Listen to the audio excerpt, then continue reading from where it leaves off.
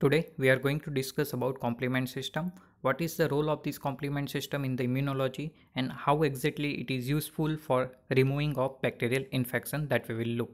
So basically complement factors are protein present in serum. The cell lysis by antibody or immunoglobulin is mediated by this complement system. So complement is generally abbreviated as a C. Now these complement factors are also 9 so they are designated as a C1 to C9.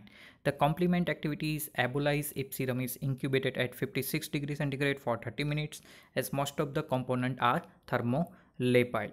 Further, the half-life of this complement system at room temperature is only few hours. So first you have to remember complement factor, they are total 9 component and they are called as C1 to C9. Further in detail of this complement system that we will look.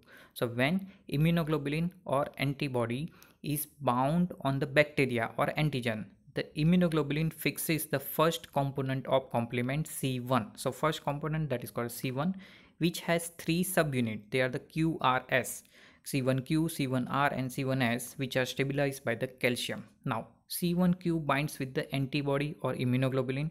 It has 18 polypeptide chain. Basically they are the protein. So branching into six flower like bloom connected to one stem.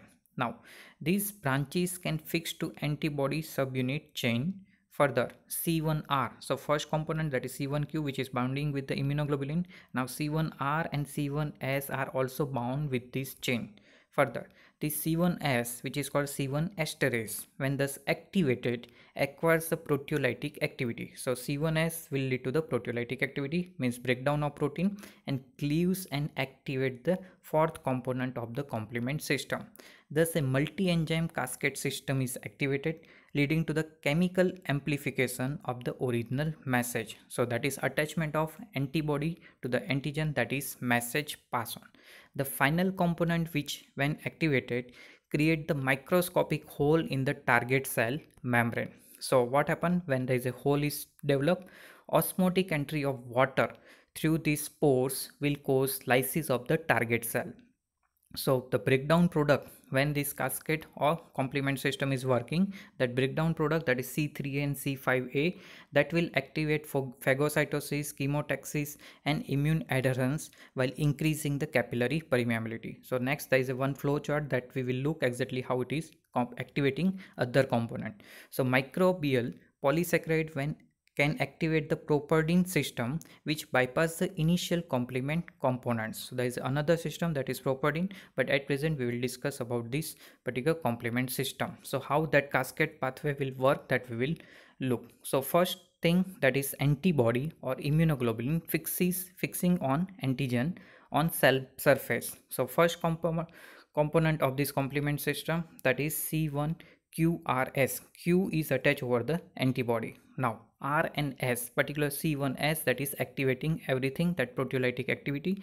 So C2 and 4 component of this complement system that is broken down into a C2A and B, C4A and B. So B part C4B and 2B that will activate third component of this complement complement system. So that is c3a will be liberated and c3b that can also lead to the opsonization. Further c5 will be activated and converted into c5a and c5b now further what happened? This c3a and c5a which are produced as the activation of this complement system that lead to the activation of phagocytosis, chemotaxis and immune adherence while increase capillary permeability.